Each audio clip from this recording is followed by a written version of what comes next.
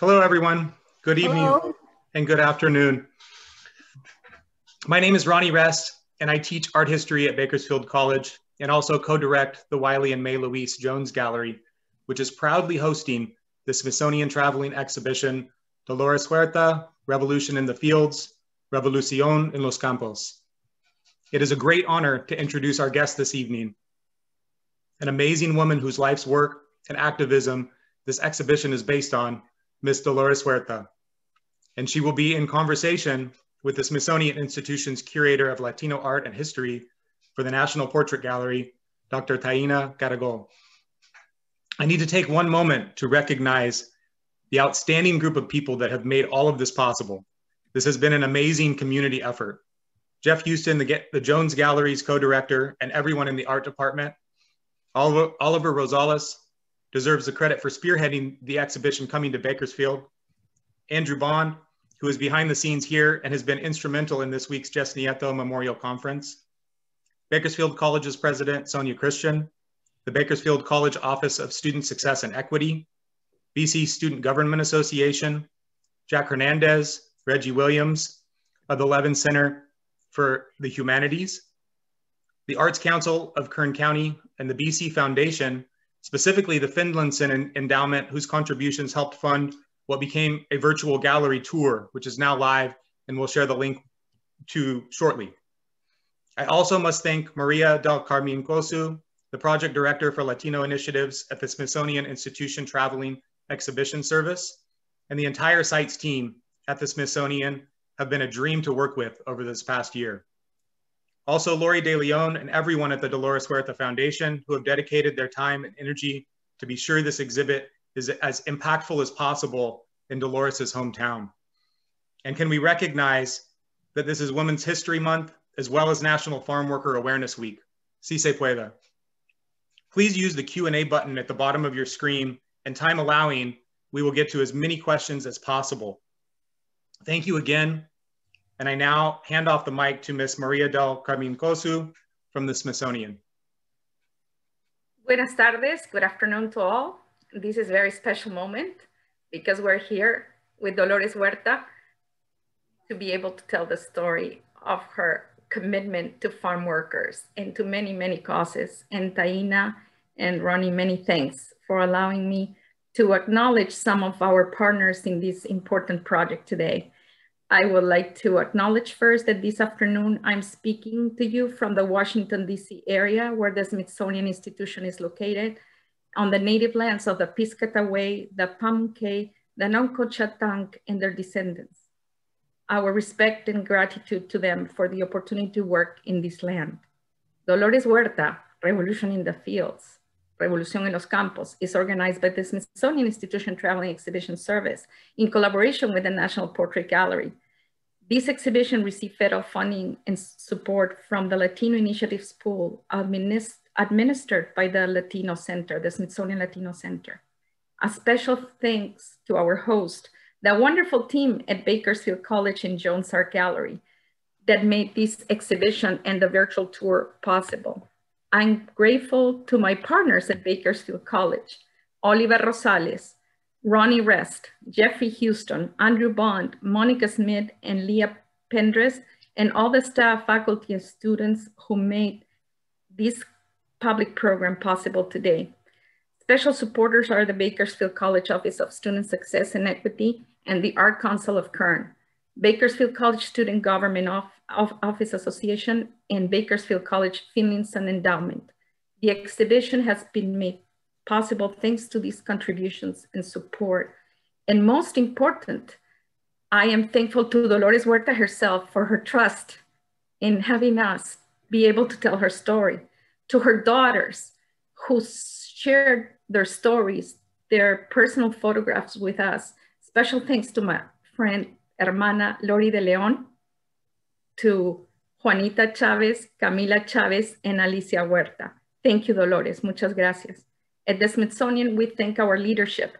Kim Sajet, Director, National Portrait Gallery, Eduardo Diaz, Director of the Smithsonian Latino Center, Diana Bosa Bastidas, Manager of the Latino Initiatives Pool Grant, and also at the Smithsonian Institution Traveling Exhibition Service, our director, Myriam Springuel, and all the exhibition teams that made it possible. We are humbled and honored to be able to tell Dolores' critical American story. And we are very, very grateful to Bakersfield College for supporting us in developing these amazing virtual touring programs to overcome the challenges of this pandemic. So thank you, Bakersfield College and the team. And now I would like to introduce my friend, Taina Caragol, Curator of Latino Art and History at the National Portrait Gallery, and Dolores Huerta. Thank you so much for your passion and contribution. Thank you, Dolores. Thank you, Taina. I want to thank you, Maria, for all of the hard work that you have done in this traveling exhibition. As we know, it's been in several states uh, now, and now it is uh, kind of close to home here in Bakersfield, where all of this history was made. And uh, you and Taina have just been incredible in, in doing all of this work. And and I know that you were here in, in Bakersfield in person, and it's just sad that, you know, we have to, the pandemic is keeping us all separated right now, and we just can't all be together. But again, I, I cannot thank you enough for all the work that you've done to make this possible. Thank you. Thank you, Thank you, Maria. It's really uh, an absolute pleasure to be here to, this afternoon with you. Thank you to all of those who have who are joining uh, this program. Um, also, my thanks to Bakersfield College, to the Huerta family. Um, very, very special thanks to Dolores, uh, to Barbara Carrasco, who was uh, a very important connector at the beginning of this project, and also to Nora Dominguez, uh, who's also a great friend of the project. Um, this program is really special because of a number of reasons. Uh, for one, it's in Bakersfield College. It's in your hometown, Dolores, and, and that already makes it hugely special. Uh, each venue that has received this tour, this traveling exhibition has been very welcoming, very warm. Um, but I have to say there, there have been some that have been um, especially dear because of the, of the important part they have played in the story, as you just said. It's also a special program because it's at Bakersfield College and you have a very special connection to youth mm -hmm. as someone who, has who has advocated for youth, who started her, um, her life path as an organizer young in life and who also trains youth to become engaged in our civic society.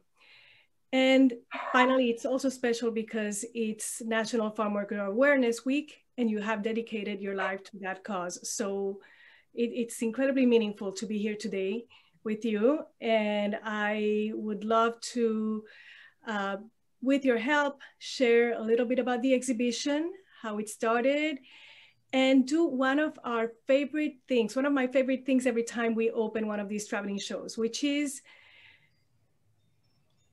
seeing Dolores give the tour herself, you know, showing some of the images that are in the show and seeing and, and listening to her sharing anecdotes and bringing all the stories uh, to life. So that's what we're gonna do today. But before, before all of that, I want to ask you, Dolores, how, how are you doing? Oh, I'm doing well, thank you. Uh, like everybody else uh, with this pandemic, uh, just uh, waiting to bust out and get out there. and again, um, it's a, it's uh, so sad that you know uh, we have to be uh, locked down. Uh, uh, Kern County is going to be opening up this week somewhat because it's been one of the places where we've had the most deaths and the most illnesses from COVID-19. So. And I, I, I don't know how long the exhibit is going to be at Bakersfield College because so many of the folks that are going to be with us today uh, their parents or the grandparents were involved in the farm worker movement. I'm sure many of them uh, were on marches and strikes and uh, boycotts and many of the things that, that the farm workers movement was about. So uh, in, in many ways, a lot of this will be very personal to them. And maybe they will uh, see things that they really didn't know, but maybe they just heard somebody talk about them, but didn't actually get to see them themselves.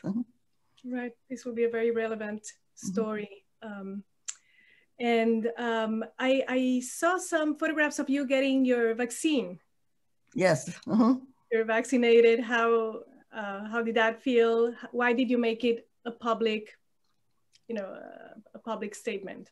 Well, I wanted to make it a public statement uh, because uh, there are some people that might be wary about getting their vaccine. And, and since uh, I'm going to be 91 years old uh, in a couple of weeks, uh, I thought it would kind of be an inspiration to people so they won't be hesitant about getting uh, their vaccine. So, and by the way, the Dolores Huerta Foundation, we have been doing vaccine clinics ourselves in a couple of different areas. So uh, you know, we just want to let people know that it, it, ahora es cuando, now's the time, but you have to get your vaccine, not, not only for yourself, but for your family and for the community and for our whole country. Basically, we could say that because we want to get that herd immunity, but we can't get it unless everybody gets a vaccine. Absolutely. That's amazing to hear that the, the foundation itself has been doing vaccine clinics. How amazing. You are always doing amazing work.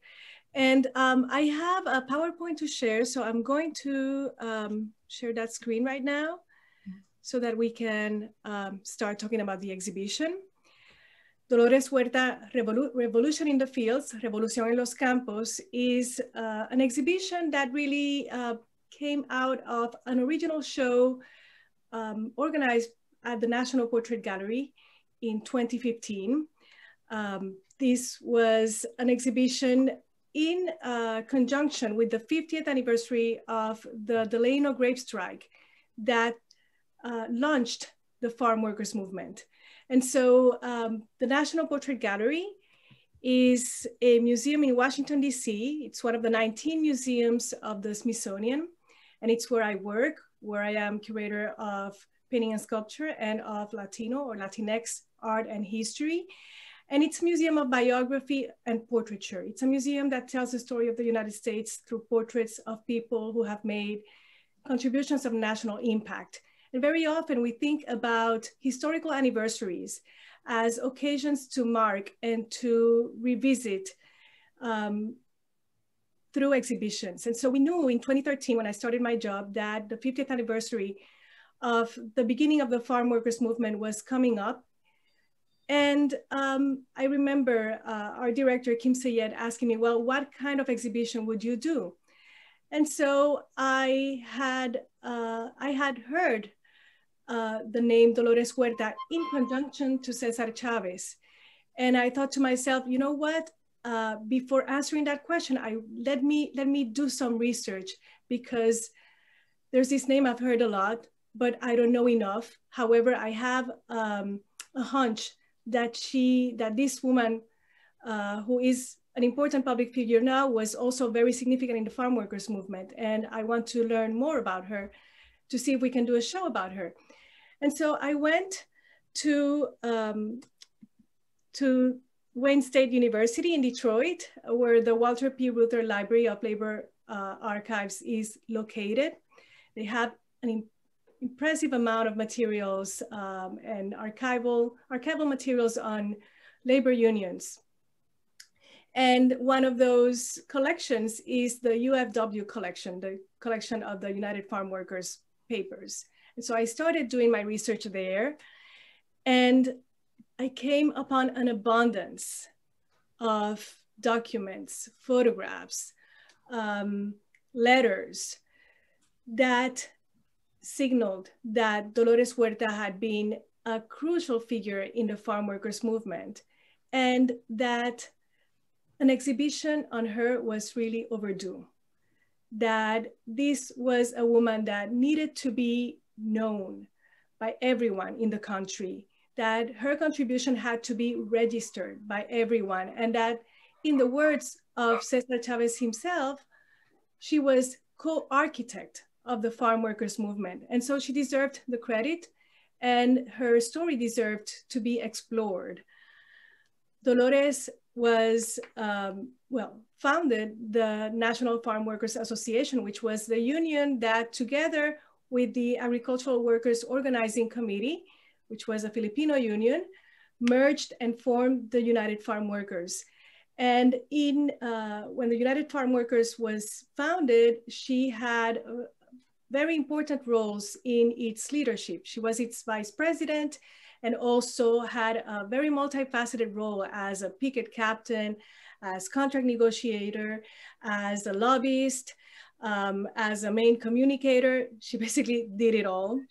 And, um, and she also did that while having her own family. And, um, and so this was a story that we decided to explore and that took the shape of this exhibition, One Life Dolores Huerta, um, which was on view for almost a year. It was the first exhibition of the series that we do titled One Life that we dedicate to one historical figure and where we delve into their life history and their contribution to the country.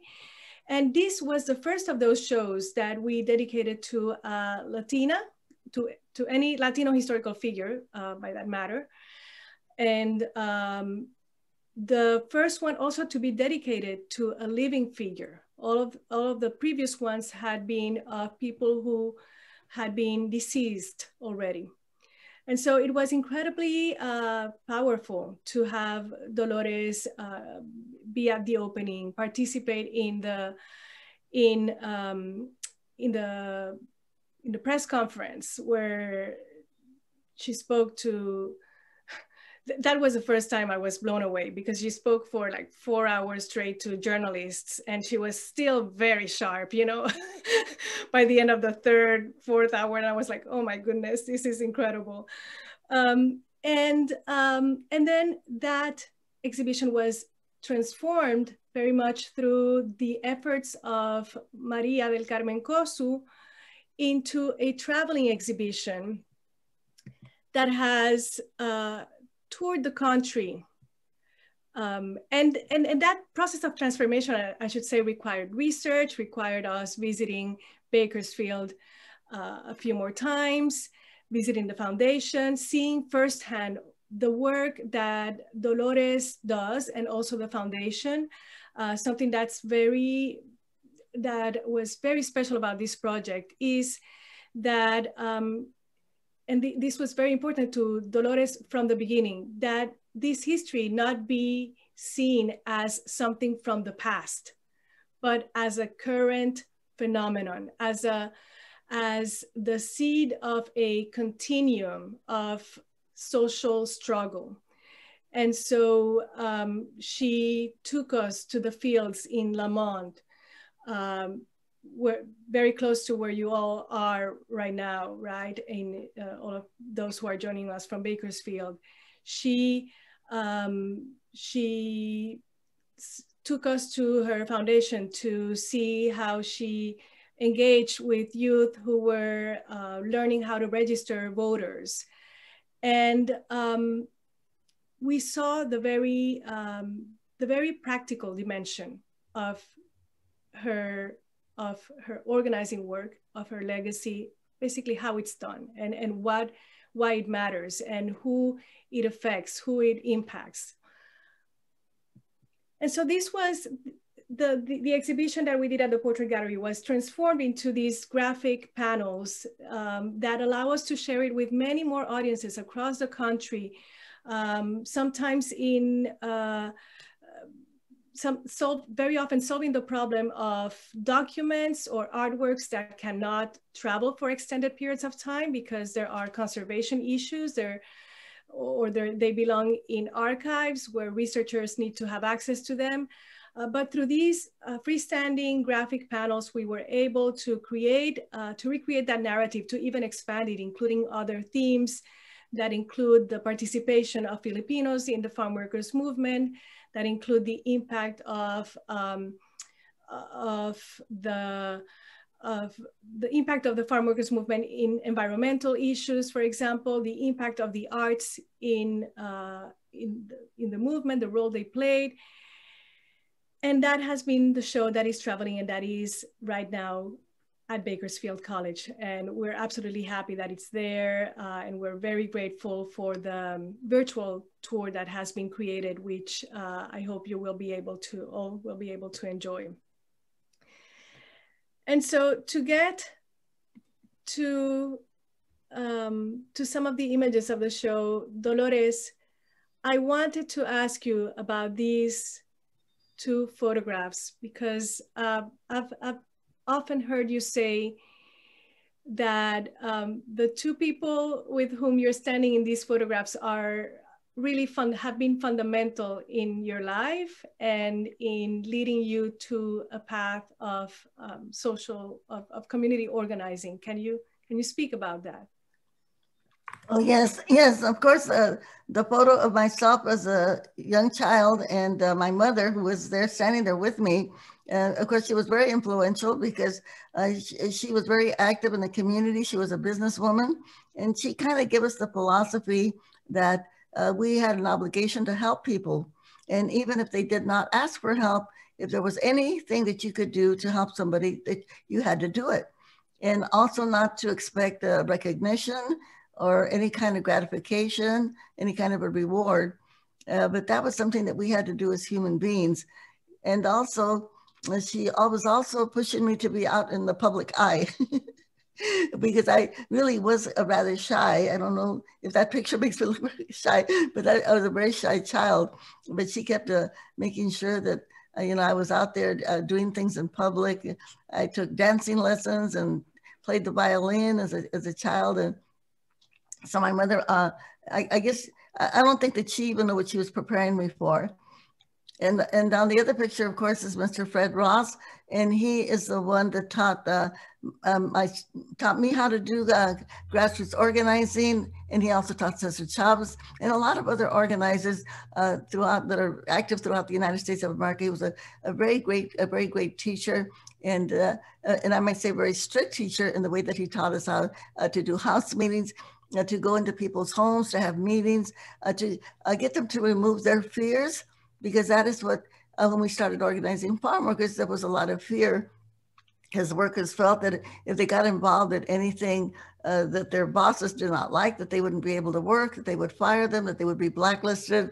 And uh, uh, so uh, Fred Ross was definitely uh, one of my mentors. And of course, Cesar Chavez also, I learned a lot from Cesar himself. And also, I want to mention one other person that we don't see often in these pictures, and that is Helen Chavez, Cesar Chavez's wife, uh, who was a very, very strong woman. And, you know, we learned a lot from Helen also.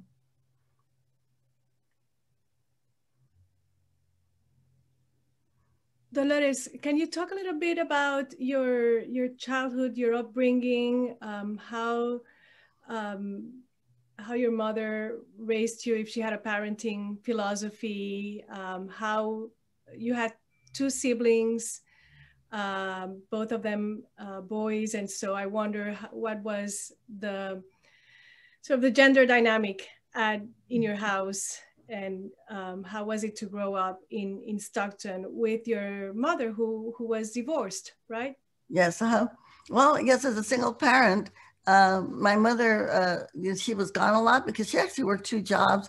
She worked by day uh, as a as a waitress in a restaurant and by night in a cannery. And she was working two jobs because she wanted to save enough money uh, to start her own business, which she eventually did. So at home, uh, we were pretty much often had somebody taking care of us, my grandfather or an aunt or somebody, but we had to do all the housework. And so we had to wash the dishes and sweep the floors, make up, make sure we had made up our own beds, etc. But uh, my mother, my two brothers had to do the equal amount of work that I did. And my mother would have a chart up there with our names on it, and we had to go out there. And if it was your turn to wash the dishes this week, then you had to put your little check in there that you washed the dishes. But she was definitely an equal opportunity mother uh, to make sure that the boys in the family did the same kind of work that I had to do. In fact, my brothers always say that I was spoiled. That they, uh, they that they did more work than they did, and so both, both of my brothers, you know, they we all washed our own clothes, we ironed our own clothes. I was never asked by my mother to do anything for my brothers.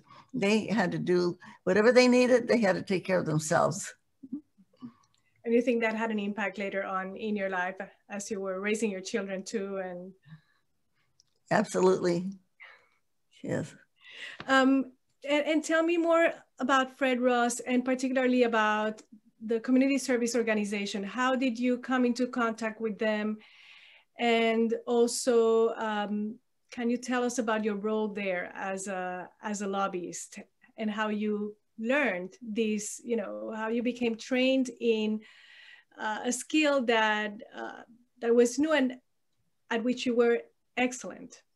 Well, thank you. Well, uh, yes, uh, well, Mr. Ross taught, taught, us how to do house meetings, and we still do that method of organizing uh, with the Dolores Huerta Foundation. Uh, but of course, right now we can't because we're kind of locked down. So our meetings have to be virtual. But basically, the way you do house meetings is you just meet in people's living rooms. You talk about the issues. Uh, you show people uh, ways that, that they can solve the issues, but that they have to make a commitment. And then we have to get them to commit that they will also join. And the main thing that we say to people is, um, all of these problems that we have right now that you are living, uh, they're not going to be solved unless you do it you can't wait for somebody to come and do it for you. But the way that we can, you know, meet these challenges is to uh, come together as a group because one person can't do it by themselves. We've got to come together and we've got to take direct action. And this is that, that we are able to. And then Fred Ross would show us pictures of what they did in Los Angeles, bringing in uh, street lights and sidewalks and clinics into East Los Angeles, uh, the Mexican American areas and by registering people to vote, and the politicians finally paid attention to them. And the one thing I, I just want to share with uh, the students that, that are here today, the one thing that I did learn in all of the work that I've done is that there, there's always somebody out there that will help you. Uh, when Cesar asked me uh, uh to be the lobbyist, uh, well, yeah, for the uh, for the community service organization. So I went to Sacramento. I met with I met with some of the legislators, some of the people in Sacramento, and I asked them, how do you pass a bill? Uh, how do you make something into a law? And they explained it to me. So everything that I did, I just asked somebody out there that was doing the work uh, to, to tell me how they did it. And that's how I learned. So you kind of learn by doing. And, and, and the same thing with negotiating contracts. When I was put in charge of negotiating the contracts, uh, then I, well, I, I talked to some of the labor leaders that I knew and then I asked, and I asked them, how do you negotiate contracts? And they explained it to me. And then I, uh, they gave me copies of different contracts. I collected them, and then I wrote up our own contract for the farm workers. So, yeah, I think this is a, the greatest thing I think about uh, the, both the community service organization. And by the way, we had a chapter here of CSO in Bakersfield for many, many years. And the United Farm Workers is uh, we created a lot. We created a lot of created a lot of leadership uh, and people learn by doing uh, as as they do in the in the our foundation today. They learn by doing the work. That's wonderful. Um, I, I really love this picture because of the of the messages around the two of you and particularly that now is the time in front of, of you two in that podium. It makes me it makes it, the photograph very poignant Okay, and, and so you joined the community service organization. You were a lobbyist with them for several years. You achieved some very important uh, initiatives there um, that perhaps you can tell us about, you know, such as the bilingual driver's tests, right? Yes, how we were able to get the, not only uh, did we, we able to get the driver's license in Spanish, but in CSO, we also got uh, the voting ballots in Spanish. And I think uh, maybe except for New Mexico, which in that state of New Mexico, everything has to be bilingual by law. As part of the Treaty of Guadalupe Hidalgo that was signed when they took all of those lands from Mexico and including California. But uh, we were able to pass a law that, that all of our uh, voting ballots could be, had to be in Spanish uh, the, the, the, and also that all of the people get, could get their driver's license in Spanish that was very important to people because many people couldn't pass their driver's test because they didn't understand the English. But at some point, yet um, you and Cesar Chavez decided to branch out from the community service organization, right? And to dedicate yourselves to organizing farm workers. Yes, because uh, we thought that the CSOs, it was called, would support us uh, to organize farm workers. But when we had the convention where, where they were going to vote uh, to do, uh, they were going to try to do a pilot project under the CSO, but the delegates voted against it. And one of the reasons that they voted against it is because uh, many of the leaders in the community service organization were labor leaders, and they felt that uh, if we tried to organize farm workers, it would be what they call dual unionism, and so they voted it down. And so uh, Cesar and I both left the CSO, and we started the United Farm Workers. Here we have some images that depict the, the terrible working conditions that the farm workers struggled with in the early 1960s. Um, can you tell us about what, what were the issues that you were organizing for? Well, we can see right there that this uh, gentleman is out there in the field um, and there is no porta potty out there for him. There's no toilet out there for him. And this was devastating, especially to the women, uh, because the women, they would have to make a circle. Uh, if somebody had to go to the bathroom, they would have to use towels or sheets and, and uh, there's, you know, they wouldn't provide them with drinking water or relief periods. And so they were treated like animals, not like human beings. I think that was one of the grievances that they had. They had to work long hours for very low pay. And then you have this other picture here about uh, how they're spraying. They would spray the workers with pesticides. And, and by the way, some of that still happens today. Uh, a couple of years ago, uh, we had a lot of farm workers right here in Bakersfield that were sprayed with a combination, a cocktail of different pesticides. So that is one of the things that still needs to be corrected. Uh, we were able to pass laws in California that they have to let, they have to you know, they, have to register when they're going to use some of these restricted pesticides uh, so that people can have access to the information that they have to post the fields. Uh, but there's a lot of violations and uh, there are more laws that have been presented uh, again uh, to make it safer for farm workers. But eventually uh, we have to take the whole issue of economic poisons, which is what pesticides are, take it out of agriculture, take it out of the EPA and put it under the Health and Human Services uh, uh, department of our government because these are economic poisons that are being put on our food. And we have the highest cancer rate in the United States of any, uh, uh of any other country. And, and that is, of course, due to all of the poisons that are put on our food. So it's really um, it's a, it's a terrible issue affecting farm workers, but it, it also affects uh, a broader population. And yeah, the consumers, right? The consumers that eat the food that have the poisons on them. Yeah. Mm -hmm. And so these were the issues for which you were organizing. And together with Cesar Chavez, you founded the National Farm Workers Association in 1962. Mm -hmm. Here we see you signing up members at the inaugural convention. And uh, and the reason that we uh, called our, ourselves an association is because we didn't want the growers to know what we were doing because we knew that they would try to squash us right away. So we called ourselves National Farm Workers Association, and that way they, they wouldn't know that we were forming a union. That's really interesting. And so it was uh, in order to not scare or not raise any flags among the among the growers. Mm-hmm. But uh, was there also some um, some trepidation, perhaps some some uh, hesitation from the farm workers themselves uh, in fear of retaliation joining a union? Oh yes, the, the fear was was intense uh, because uh, they knew that they they, they would get fired if they knew that they were uh, you know trying to organize a union. And of course, we knew later that there was also a lot of violence and brutality associated with that.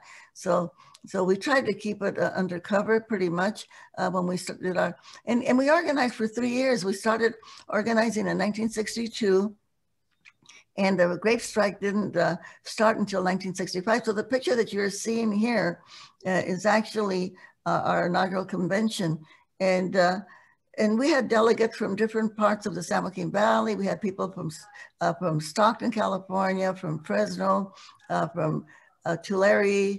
Uh, we had people from the, from the coast also, from Watsonville and other areas. So they represented a large group of uh, farmer committees that we had, we had organized.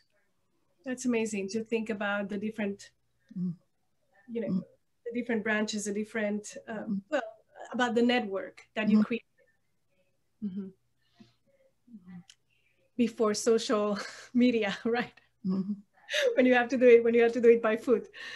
Um, this is a photograph of the peregrinación of the march from uh, Delano to Sacramento in 1966. Can you tell us about that moment? Well, you know, we had been on strike uh, for several months and at the beginning, uh, you know, people were bringing us food, they were bringing us clothes, uh, they were donating money to keep the strike going.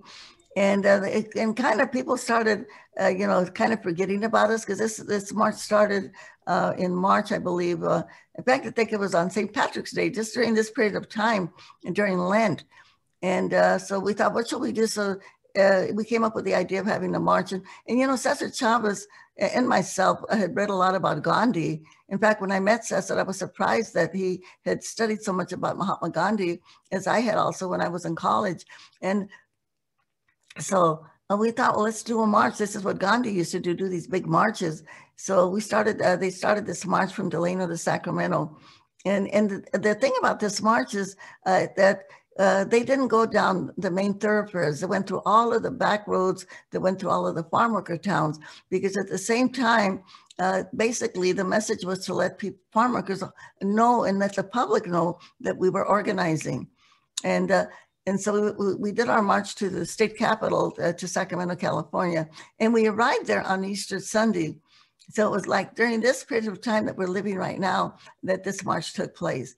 And the other great thing I want to mention about this march is when they left Delano, California, I think there were like 70 strikers that did the march. When they got to Sacramento, there were 10,000 people. So I like to say that to folks that sometimes they think, oh, we're just a, we're a small number. We really can't make this happen. And I like to let, share this with people that when we started the union, there were only three of us. It was Cesar Chavez, his wife Helen, and myself just the three of us. So, and you know, so we, we should never hesitate to say, uh, I can't do it because whatever my whatever it is that I want to do for social justice, because I'm just one person. No, just find somebody else to help you.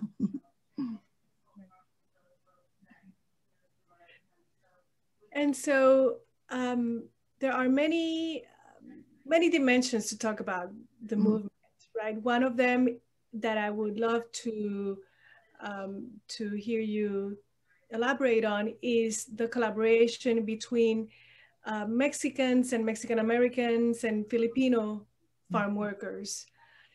Um, and, and then after that, um, I would love to hear you speak also about how, uh, how the movement took on nationally really and and and the what it meant to have the support of of Senator Bobby Kennedy, for example.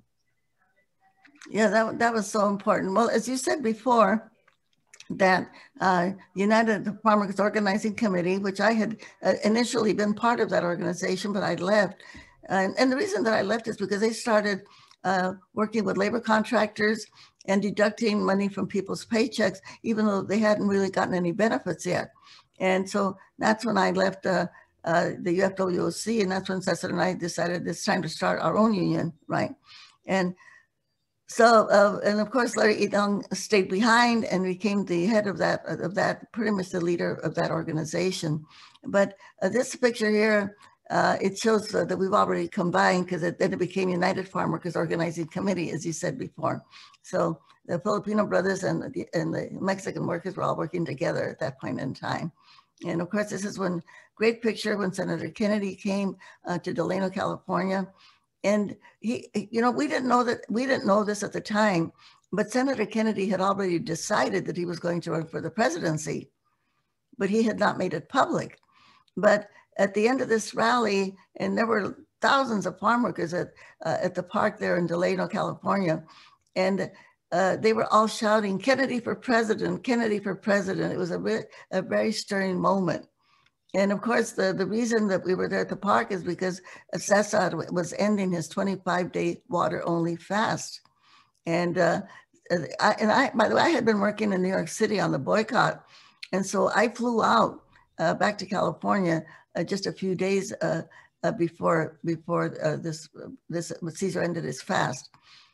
And I am the one that had been entrusted to make, make sure you get Bobby Kennedy to, to come uh, when Cesar ends his fast. And that, that was my job in New York. And, and Senator Kennedy had been supporting us. He had helped, uh, had done fundraisers for, uh, for the farm workers, you know, so he had been, had been a great supporter before he came. So a lot is happening, right? We have the strike, which starts in 1965 and lasts five years.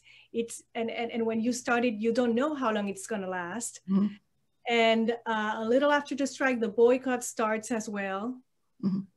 And the boycott involves every uh, consumers around the nation, right? And mm-hmm. beyond that, beyond the nation too, it, mm-hmm. it, it became an international thing, right? Mm-hmm. Um, and yeah, can, can you tell me about that moment? Uh, well, uh, this well, this was right in the middle of the boycott uh, when this picture was taken. And by the way, the other gentleman there, Andy Imutan, uh, was also one of the, the Filipino vice presidents uh, of the uh, United Farm of our United Farmers Organizing Committee. And and and when you know when we finally had the charter uh, from the AFL-CIO and just became United Farm Workers, uh, both Larry and and and uh, Larry Itliong and Andy Imutan were part of the list of the vice presidents. So of course we couldn't win the strike because uh, there were so many. They were bringing in strike breakers. We're so close to Mexico that they could just bring in strike uh, people to break the strike almost overnight. So uh, so it wasn't until actually we had an attorney that was one of our volunteer attorneys He's still alive today. His name is Stu Weinberg. He's an attorney in San Francisco. And he had uh, been uh, visiting us and volunteering. And we were all meeting together. There was a small group of us, and we were saying, What are we going to do? We're not going to be able to win the strike. Uh, there's an endless supply of, of strike breakers that they can bring in. And then he said to us, Have you ever thought of starting a boycott? And we said, Well, okay, explain that. And this is when they were having the, they had just had the uh, the Montgomery, the bus boycott in Montgomery, when all of the uh, black folk uh, decided not to ride the buses because they were making them, you know, stay at the back of the bus. And so they just decided not to ride the buses. And I think that went on for over a year, but they finally won. And so we thought, okay, we'll try that. We'll do a boycott. And then some of our young volunteers uh, they started the first boycott that we had was a, against one of our companies uh, that was on strike called Schenley, uh, which was a it was a liquor company, but they had a vineyard there in Delano, and so our young volunteers and actually some of them hitchhiked all the way to, to go back east to St. Louis, and they went to New York City, and they started this boycott against Schenley, and, and it was successful. Uh, so then uh, you know we so we we boycotted several of the wine companies and we got a few wine contracts but then we had the, the whole grape industry and uh, that, that we the, so there were more strikes and uh, so we said we no we have to strike the grape industry and so we started the uh, started the Great boycott and i was in new york city uh, you know heading up that boycott uh, when bobby kennedy came to delano but it was successful because we were able to get 17 million Americans uh, not, not to eat grapes or not to buy grapes. And that is what brought the growers to the table. Mm-hmm, mm-hmm. Yes, it was very much in the news. One of the fascinating things about uh, doing research on this period was just reading all the press on the boycott and realizing what sort of economic pressure mm-hmm. um, consumers and farm workers were putting around the nation and um, and how effective it was as a as a political tool right, right. Um, really fascinating um, another fascinating thing is the reach of that boycott uh, we found um, i found for example little pins supporting the boycott and photographs from uh, uh, quebec mm-hmm. in Canada or found um, uh, pins supporting the boycott in Arabic. And so you realize that this was a movement that counted with incredible international and multicultural support. Mm-hmm.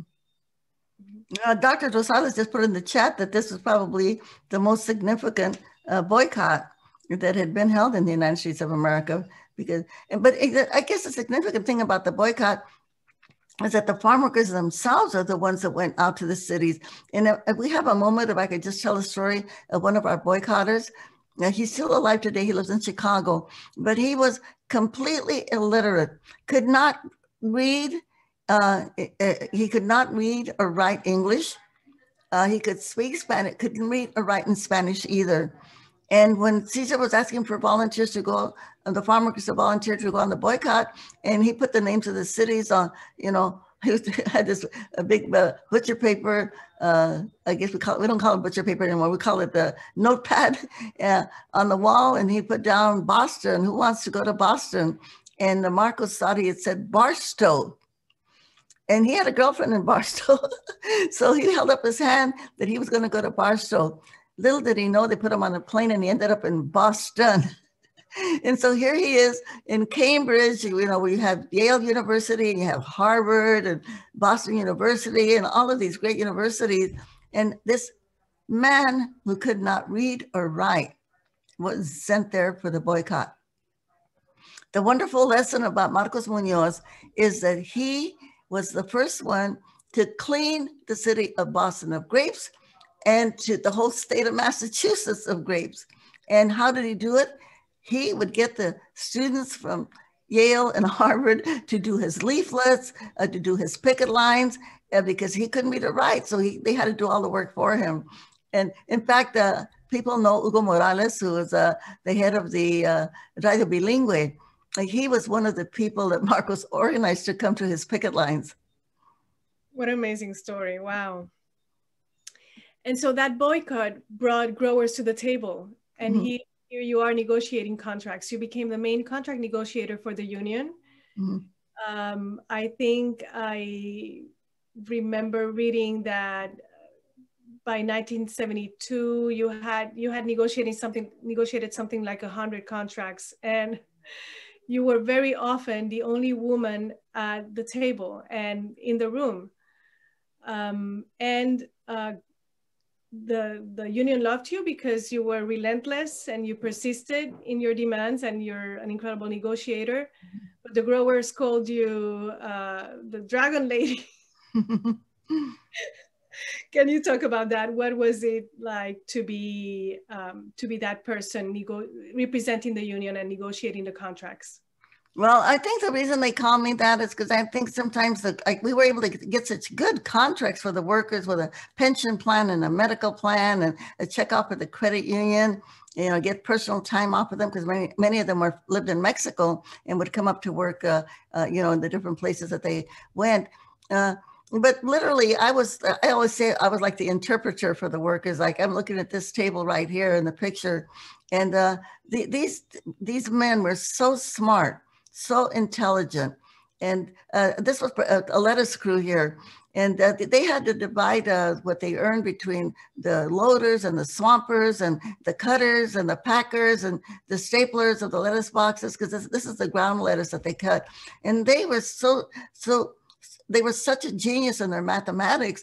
And I literally pretty much just translated for them. You know, we would meet uh, separately, and then we would come to the table and give our proposals to the growers. Uh, but it, it, was a, it was great, and I, I always just admire uh, the intelligence of all of the farm workers. Many of them never have any kind of formal education, but that doesn't mean that, that they don't know what they're doing. They are very, very intelligent.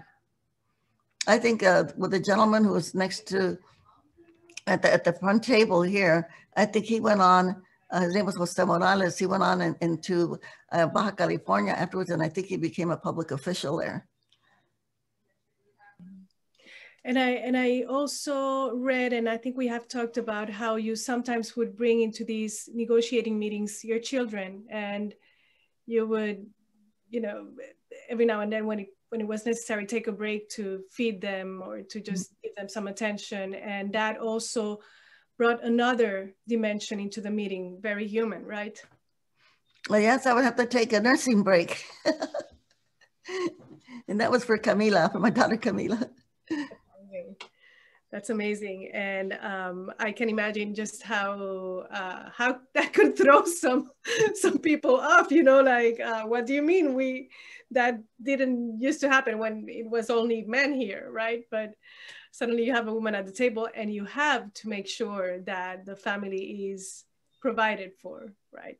And there's, there's a great uh, uh, joke that uh, one of my assistants uh, who would go with me to negotiations said that when I, I reached into uh, my case to pull out a proposal that I was going to put on the table, I reached out a pamper instead.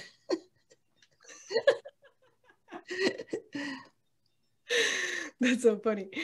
Um, okay, so um, this is another photograph that I like very much because um, if you've seen the, the images I've shown until now, um, very often you are, you, you're, we see you there among many, uh, among a mainly male population, uh, either the growers or the farm workers themselves. Mm-hmm. But something that you brought to the table, and you've said also that Helen Chavez also brought to the table, was your presence as women in the movement, mm-hmm. and that um, that was important to mobilize mm-hmm. women who were also farm workers and mothers, and uh, but who saw themselves more having a rather domestic role. Um, but you proposed another model to them. Can you can you talk about that? Well, actually, about half of the workforce in the grapes is are women. About half of the workforce in the grapes are women. Uh, in the lettuce industry, uh, they used to have the women on the machines, and uh, uh so it, and women were always in the forefront, as they are in many many struggles. Women are always in the forefront of the struggle uh, sometimes where the women get lost, as they did actually in our union also, when it came down to the uh, taking the positions on the executive board, et cetera. And that's the, where the women got lost. In the United Farm Workers, women uh, ran a lot of, they ran the clinics, they, they ran different field offices, and they were very, very present in terms of leadership. Uh, but just just short uh, uh, of the executive board. And uh, it's funny because when uh, I remember once somebody asking Cesar, why do you have so many women uh, in leadership here? And he said, because they do the work. he had a very short answer for it for that. But in the prior picture that we showed about the uh, the, the, negotiating committee from Sun, Sun Harvest and the leaders of that organization, the women that were working on the machines that they weren't getting as good a wages as the lettuce cutters were. And so the lettuce cutters went out on strike so that the women uh, could uh, get more wages uh, for, for their contract. And they did it on Labor Day, which is really amazing. And, and you know what? They ran the whole strike themselves. We didn't have to send any of our union staff to, and even myself, I remember, I think they had the, the uh, Olympics or something that was going on at the same time and they just ran the whole strike themselves. But we just had such such incredible leadership. That's that's really wonderful and fascinating. Um, that to hear that um, it's really a misconception that that women uh, were not so present in the um, in the in the leadership positions. They were. Mm -hmm. Mm -hmm. And so um, another dimension that I would like to talk about is um, the role of art in the farm workers movement. And this is really, uh, this is one of my favorite uh, portraits at the portrait gallery. Uh, and I had the, the great uh, pleasure of acquiring it for the, for the museum. And, and this particular one is dedicated by Dolores to Barbara Carrasco, who made the silk screen honoring Dolores. Um, she wanted to create an iconic image of her. Mm. But also, I really encourage you to look at the virtual tour for the exhibition because this is an area that we really expanded in the in the show. And there are photographs of the Teatro Campesino, directed by Luis Valdez. There are photographs, uh, there are other artworks reproduced, notably by Ester Hernandez, very iconic works, and by Xavier Viramontes. Um, and you know, there were so many artists who uh, who made artwork in support of the farm workers. Can you can you talk about that relationship between the arts and the movement? Yeah, the art was very important. And in fact, Barbara Carrasco, uh, when she was just a young artist, and she would bring all of these other artists from Los Angeles, and many of them became very, very famous artists. And they would paint these huge, huge uh, murals on canvas because, and they would do this for our conventions. And of course, our, we had our conventions like uh, at the Selland Arena in, in Fresno or here uh, in Bakersfield at the big auditorium. So they were, there were huge, huge banners of, of murals that they painted. And so the artists were very, very part, much part of the farm worker movement. And there were many posters that came out uh, during that time also. Uh, the posters that that uh, were to, to motivate the, the, workers and to affirm them and, and recognize them. And of course, uh, Teatro Campesino was very important to us, uh, Luis Valdez, uh, because they would do the, during the grape strike, which lasted for, the, the, strike lasted for five years. And you can imagine that was a long time and people would get kind of discouraged and you know, people, but Valdez with Teatro Campesino kept the spirits of the farm workers up and they would do a different kind of uh, theater skit and they would, they would be really, really funny and make everybody laugh.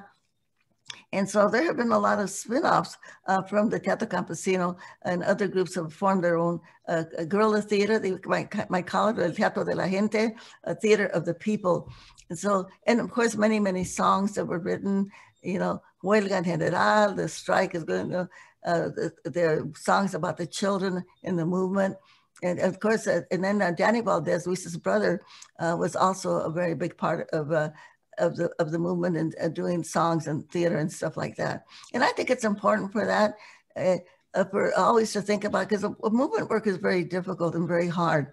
So, but we have art and we have music and and theater, and that really uh, it, it, gives people the the animal, you know, uh, so that they can keep on going. And because we know that the road to social justice is a, a very long road, and we don't want to get tired, and we can get a little bit tired, but but when we have a, the, the music and the art and the theater that lifts our spirits, it, it gives us the energy to keep on going.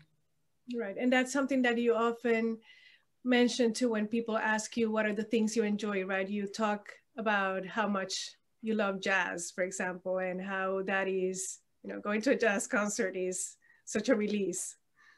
Oh, and Bakersfield College, by the way, where this exhibition is at right now, uh, has one of the best uh, teachers, jazz teachers, and and and, the students. Uh, they have a wonderful, wonderful jazz program uh, there at Bakersfield College, and uh, we have uh, once we get up over the pandemic, we have a, a jazz workshop, and many of the students uh, from the Bakersfield College come and they play at that jazz workshop. I can hardly wait till we can all be together again and and, and get our jazz our jazz fix back because you know it's it's been gone for us for a long time during the pandemic. That's wonderful. Um, Dolores, I uh, I don't have any more images, but I want to talk about um, what has happened in the course of this exhibition, uh, being up at the portrait gallery and then traveling through the country. It's been six years, mm. and I think um, the country has changed significantly in socially um, and I I wonder what are your thoughts about that how do, do you also see, do you, do you agree with my observation? Uh, do you, I think when we first opened this show, um, there were important struggles going on in 2015, 2016. However, um, it did seem like a celebration of something that had happened 50 years ago, this exhibition. Mm -hmm. And I think um, even though there were some segments of society fighting very hard for their rights, the LD, LGBTQ segment, for example, uh, the LGBTQ community, the you know people who are um, in the struggle for um, for environmental um, you know issues. There was also, I think, some sort of um, of nostalgia that we cannot reach that kind of ferment mm. That there was in this in the late 60s and that um, and that was so much part of the of the movement that you and Cesar Chavez led. But we've had uh, quite a number of struggles after 2015 and until today. And of course, uh, we think, you know, the one that really comes most um, strongly to our minds right now is the Black Lives Matter uh, mm-hmm. protests after uh, the horrific death of George Floyd last year and Breonna Taylor and, and uh, all the Black people who died um, terrible in terrible ways, mm-hmm. Uh, either through um, through acts of violence mm-hmm. uh, from from uh, white supremacists or from uh, acts of police violence. And I wondered what you have to say about that. Well, I think that we see, as you just stated, that we see that there are many demonstrations that are, are starting in the United States and then they're going uh, international, uh, beginning with the Women's March after President Trump was elected. Um, of course, the Me Too movement, the women's movement. Uh, then we saw uh, the young people from Parkland, Florida, Emma Gonzalez, uh, uh when they did the marches uh, against gun violence. And of course, as you mentioned, we have the Black Lives Matter movement that is happening right now. Uh, you know, all of the protests, and many, I'm sure many of the students here, because we had those marches and those protests right here in Bakersfield. I have to say that I was not able to join them uh, because of COVID and because of my age which I, I feel very, very sad about that. But we had many, many uh, demonstrations and marches right here in our, in our, our town here in Kern County, which uh, is the most conservative county in the whole state of California. So we can see, especially with the devices that young people have now, with uh, you know their their cell phones and the computers, and uh, and then all of the social platforms that they can get on, you know, Facebook, Instagram, et cetera, et cetera. Because I don't even know all of them. Mm, that you can just mobilize people so quickly. Uh, but a, a couple of things I just want to mention, though, kind of dialing back a little bit. Uh, the farm workers strike uh, was so effective and so strong that, and we had many students that would come, like Luis Valdez, because he was a student at San Jose State when he came uh, to Delano, and then he just stayed and didn't go back to school. By the way, he did get an honorary degree from San Jose State, but you had students from Los Angeles and from everywhere that came to volunteer with the farm workers. And what came out of that? They started having uh, uh, student strikes in, in Los Angeles Sal Castro, who was one of the uh, movers and shakers of the of the student walkouts in Los Angeles, uh, he gave credit to the farm workers movement. He said if the farm, farm workers could go on strike, then the students can go on strike. And it started the whole Chicano movement. So it started in Delano and then went all over the Southwest, even as far as places like Chicago. You know, the, the, the uh, the, the Chicanos, Mexican Americans were, uh, you know, in New Mexico and Arizona and Texas, you know, we had this great uh, movement of young uh, Latinos that got involved. And then, of course, in the boycott, we were there with the Puerto Ricans, with the, with the young lords, and uh, they were also very effective in helping us. We worked with the Black Panthers uh, in Oakland and, and actually throughout the whole United States of America. So the, this farm worker movement just spread everywhere it became a, a, a, really great movement.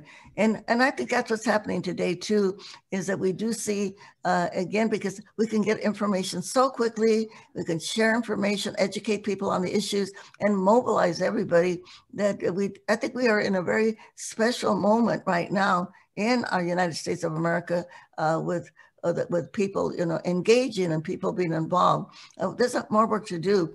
And by the way, we are celebrating this week that uh, we have uh, our first Filipino that has been appointed to a statewide position as Attorney General. And his name is Rob Bonta. And guess what? His family was involved in the strike. and uh, they actually lived at La Paz in the headquarters of the union. And uh, and it's somebody that we've known since he was a kid, and now he's the Attorney General of the state of California.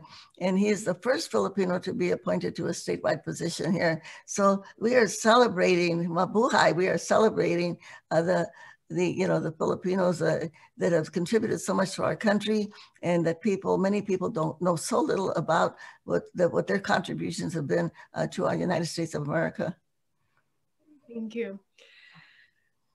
Dolores, uh, we have many, many questions from, from the audience, but before that, I want to ask you, uh, what, can you talk about uh, the situation of farm workers now as, um, um, as essential workers during the pandemic? Yeah, and uh, to your previous question, which I quite didn't answer, I think that the, the fact that we have President Biden now, and that he and many others are finally recognizing the farm workers as being essential workers. And uh, that, you know, because they have been out there working to feed us every single day of the pandemic. You know, we haven't stopped eating uh, we had to stop a lot of stuff, but we could, didn't stop eating. And the farmers are the ones that have been putting the food on our table every single day. And they are finally being recognized for that. Uh, in California, uh, one of the senators from San Diego, Ben Hueso, has introduced a farm worker day. So we have a Cesar Chavez holiday. Uh, we have a day of recognition for Lady Eat Long, a day of recognition for myself. But this is going to be a recognition for farm workers, you know, I'm sure it's going to pass, and I'm sure that the governor is going to sign it in the legislature. So hopefully, we can all celebrate that day when farm workers are finally respected and they get the recognition, and eventually, uh, hopefully, the wages that they deserve. Uh, you know, living wages. Uh, farm workers, of course, we have a minimum wage in California uh, that is higher, probably double than that of the other states, and all farm workers are covered by the minimum wage. And then, of course, you have other farm workers that are covered by contracts uh, with that the United Farm Workers has, and those farm workers are even better off because they get higher wages above the minimum wage. Mm-hmm. And, and the pension plan and you know things that other farm workers don't have when they don't have contracts. Well, this has been an amazing interview, Dolores, and, and now we have many, many questions from the audience. So um, we can, Ronnie, do you moderate this part? Yeah, of course. Thank you. And, and and there was a good suggestion from the chat. Will you pull your screen down so we can see everyone a little better? And I had a couple questions emailed me emailed to me this week. Um, and if it, if I can start with um, Jorge Ramos, he's a grad student at Eastern Michigan University. He wanted me to ask you, Dolores, what does it mean to be a leader? A leader is someone uh, that is of service to the community and that empowers other people. So a leader is not somebody that empowers themselves, but that is always making other people strong and you know helping other people with their issues and their problems but empowering them so that they can take care of their issues and their problems so sometimes uh, as quote unquote leaders uh, we're like at the front of the march but if you don't have people behind you, there's, no, there's no march, okay? So we always have to remember that. So how many people have we helped? How many people have we developed into leaders? That is the gauge of a leader. How much have you done for your community, not how much have you done for yourself? Yeah. I think Cesar Chavez is a perfect model of that uh, because Cesar, when he died, his earnings were $6,000 $6,000, okay? And uh, people can still go uh, to La Paz, which is of course uh, uh only uh, 30 miles from Bakersfield here. And the, for the people that are here from, uh, from Kern County, it's up there in Keene, California, Cesar's mansion. the growers used to put out these leaflets that say, Cesar Chavez has a mansion. And when you see Cesar's very modest uh, two bedroom house that is still there because La Paz, the headquarters of the union in Keene, California, which is between Bakersfield and Tehachapi on Highway 58, and you know, they will see what um, it's now uh, uh, uh, with President Obama, uh, they made it part of the National Park Service. Okay, so uh, it so they can see the, the Cesar's Mansion, which is a modest uh, two-bedroom home. Very humble of you. We're amongst another leader as well. uh, Carolyn Brandenburg, who's BC faculty in the sociology department, asked, how do you find the strength or mental fortitude to continue even when faced with resistance? Well, uh, we know uh, that uh, one thing that we know for sure, if we don't do the work, it's not going to happen, okay? And we know we still have a lot of work to do out there. We're trying to uh, challenge uh, racial discrimination, you know, uh, uh, women's reproductive rights that are in other states, not California, trying to be taken taken away from them. Uh, we have uh, many uh, homophobic people in our society. And so we have to end all of these issues of people that are climate change deniers. And uh, our job, like Dr. Martin Luther King Jr. said, that racism is a sickness. And so we have to be the healers and we have to go out there and, you know, educate people and organize them so that they will be caught in in, in those types of uh, of, of uh, philosophies of hatred, hating other people because of the way that they look, or because they're different color, or because of a different sex, etc. So th that is our, our our job as here on this earth. We have to we have to you know, make leave this world in a better place than when we got here. We think, and I think for young people, we think, oh, I'm going to be here a long time. No, time goes really fast. Okay, so we want to leave this place uh, when we were born here, but when we leave it, we want to leave it better than when we got here. And, and, and it's a responsibility that we all have. We showed a picture of Robert Kennedy, and just minutes before he was killed, before he was assassinated, he said, you know, we have responsibilities and obligations to our fellow citizens. All of us have those responsibilities, and we have to think about that. And so, again, how can we help people that are in need, uh, people that need support? You know, we have to do it. And by, the way, I just want to throw it out there right now that we have uh, three important measures right now uh, in the US Senate one of them is to, protect voting rights, uh, because in other states, and I know we have people from other states on this, there are states where they are trying to suppress uh, people's voting rights or take them away entirely. So you know, that's and, and that is called uh, For the People Act, and it's in the Senate, the U.S. Senate. Uh, there's another one, of course, on immigration reform. And we, we, again, we want to ask people, please write your senator.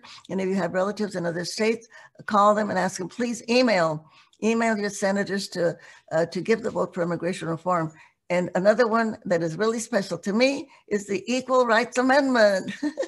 that, that is also in the US Senate. And if the Senate makes it possible uh, to, uh, to ratify the Equal Rights Amendment, we can finally put it as part of the Constitution of the United States of America that men and women are equal. Okay, we can make it happen in this year, but we've got to get those senators to vote for it. So if people, we, we have friends and relatives in other states outside of California, call them, email them, and tell them, please write your senator uh, to support S1 uh, for the People Act on voting, uh, immigration reform, and the Equal Rights Amendment. And there is a web website for the Equal Rights Amendment that I want to share. It's really easy. It's E-R-A-Y-E-S 2021.org.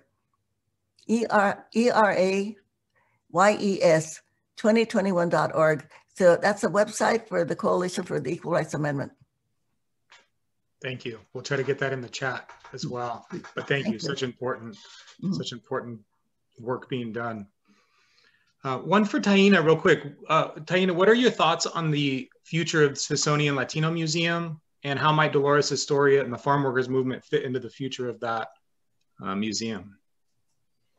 Well, I'm, I'm absolutely happy and thrilled that finally um, finally the museum, the measure for a museum of the American Latino has been approved. Um, we know it's a process that will take uh, some time to, to complete. Um, however, it's a very exciting um, development and the story of Latino people in the country is absolutely essential to telling US history. Uh, we have a relationship to this um, to this country we call the United States of America that uh, extends beyond uh, well for centuries and really even beyond the arrival of, of the pilgrims right into and so I think it's very important to remember that the building blocks of Latino identity are uh, have been part of this um, northern part of the continent for centuries that also the US has um, relationships uh, to other uh, parts of the world through its colonial action, um, including Puerto Rico and uh, Guam, for example.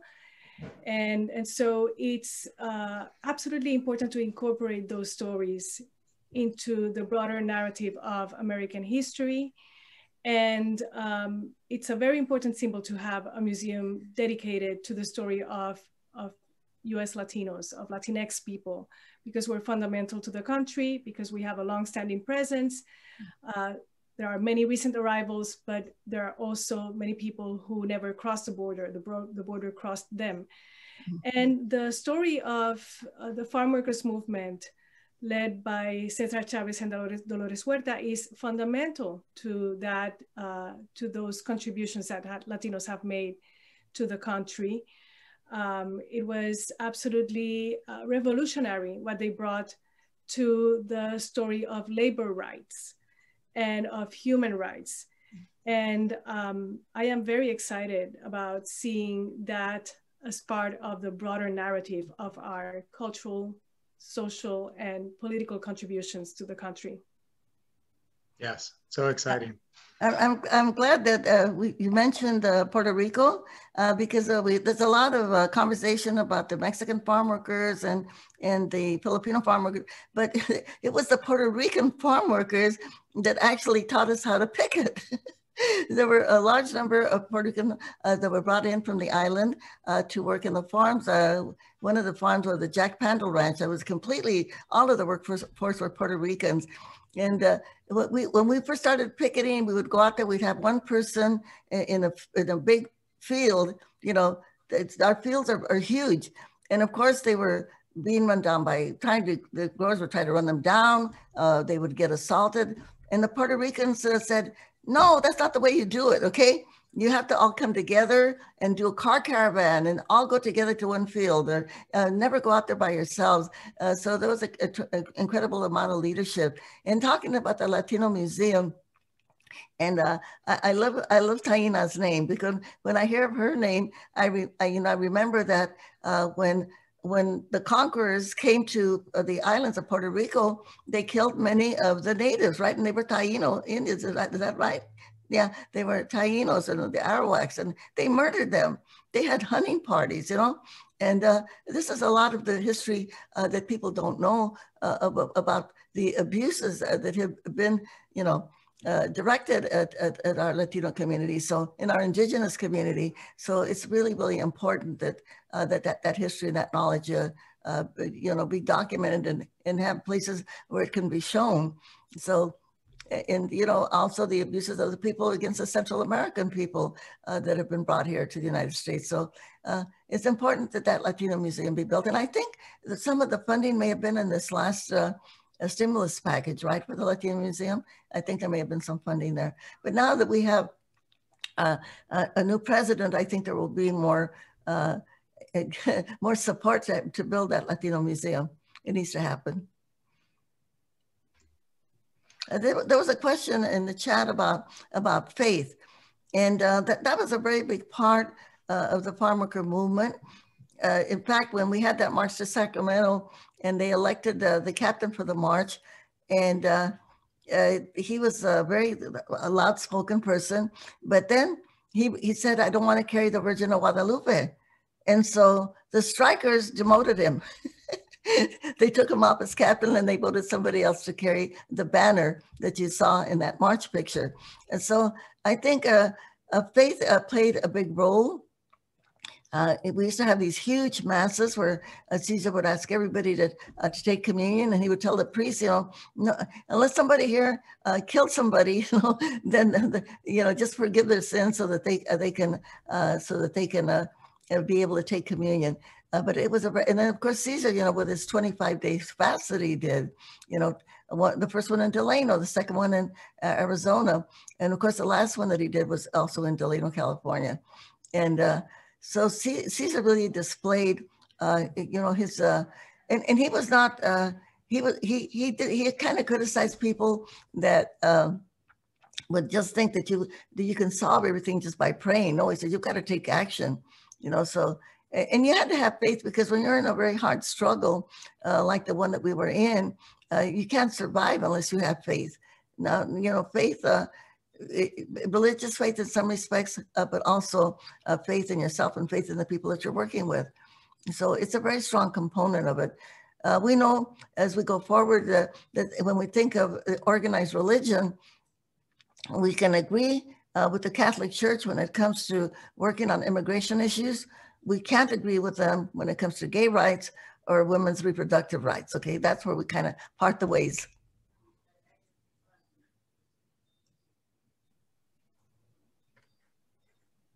Thank you. And I apologize to those of you with questions hanging out. I know we're not going to have time to get to all of these, Um, but let me ask you one more from Susanna, Susanna Hernandez. She said, as a daughter of a, of a migrant farm worker, I want to thank Dolores for her incredible work. It is an honor to hear her speak today. She said, as some populations of migrant workers become older, there has been a decline in agricultural workforce. How does the UFW, and I think probably broader organization, uh, plan to approach new generations and new migrant populations? Well, I don't think there's ever a shortage of farm workers because it's kind of an entry level job. Although I do want to say that uh, uh, farm workers, it, it is a professional job. Uh, people should never look down or disparage farm workers uh, because that they work, the work that they do uh, is, is very important. And if uh, people that haven't done farm worker, you want to go out there for a couple of days, you'd find that you have to be almost you have to be as fit as an athlete to be uh, to do the farm worker. And farm workers really care about what they do. Uh, they care about the plants, you know. Uh, they they so it's a lot of people just disparage and look down on farm workers, but they shouldn't. Uh, it, it, it is as we said before, they're, they're feeding us every day. Can you think of anything more important than that? I used to have this joke that I would tell students, and uh, my son Emilio Huerta, who's an attorney, didn't really like it, but I would say, if you had to uh, go on a deserted island somewhere and you could, could only take one person with you, who would you take, an attorney or a farm worker? I think the answer is pretty clear. You would take a farm worker. Uh, but, but so I think that uh, people should never uh, feel that somehow uh, they are, you know, putting themselves down if they go out into the field to do farm work. in fact, one of the young musicians there from Bakersfield College, uh, you know, he came up to me. He says, I, Senora Huerta, I want you to know that I'm still doing farm work, okay? He's going to college, but he's still doing farm work. So people should never look down on farm work as an occupation, as farm work as, as an occupation. Absolutely. Well, I just want to thank you both. This has been such an honor and I put a link in the chat to the Jones Gallery website. Our virtual tour is live, so I encourage you to go and check that out, walk through, enjoy the the wonderful work and and the display honoring Miss Huerta's life. Um, we're going to close, if Andrew has it ready, with a closing video. But thank you again. This has been could please, I just please. have a word before we close? I just want to. Um, please I just do. To, I just want to mention that Barbara Carrasco, uh, who's made that the portrait that is available at the Dolores Huerta Foundation. Uh, and uh, if you want to know more about our foundation, uh, we're located in Bakersfield. Right now, we're everybody is not working out of the office. We're all working at home. Uh, but you can get to our website at doloreshuerta.org doloreshuerta.org.